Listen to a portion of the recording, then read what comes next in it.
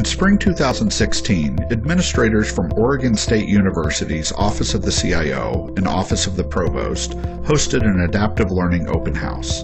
During the open house, 11 different providers of what was described as adaptive and personalized learning platforms, or courseware, shared demos of their products, with the event culminating in a panel discussion. The idea was to help educators to understand this developing educational technology market and get a direct look at what is being provided while also hearing from peers about their experiences. But the terminology itself can be confusing. How does the technology language of platforms and courseware translate into the language of people on the front line of course and program design and instruction? And why have this event in the first place? Let's listen to several of the attendees to hear their perspectives.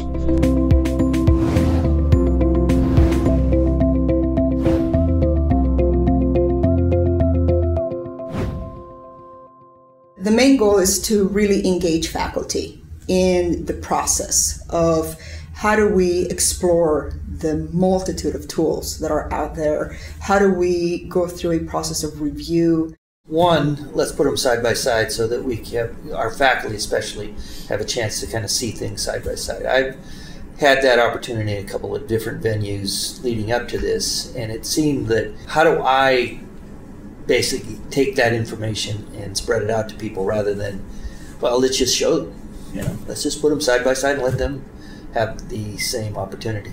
Bottom line, how do we determine which tools are really the best fit? For what we want to do, how we want to do it, where we want to do it, and for whom.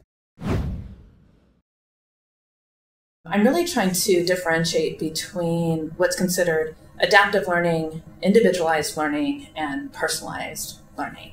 In our strategic plan, the number one goal is to create a transformative learning environment.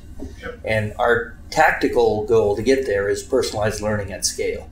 We actually use some of this in Intro Psych already, and we talked to a number of the providers over the past couple of years. So we're not seeing a lot that's new here in particular. It, it's nice to have all the providers, including some that, that you know we hadn't really had much exposure to, all in one place where you can kind of uh, of compare. For me, it's really a set of adaptive tools and technology that we're looking at it as being something that will help us advance student success.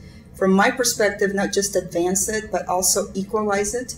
Some areas where there's a lot of uh, differentiation depending on student preparation, student background, student experience, a number of things.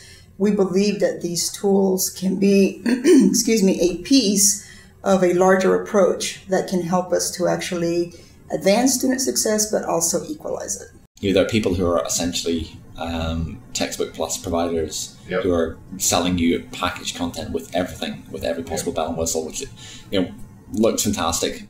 You know, there's no denying the the big publishers have, have lots of great content, um, but ultimately at the same time, it, it's someone else's content. So I think for any institution, it's like, what do we do with that if it's so if it's prepackaged?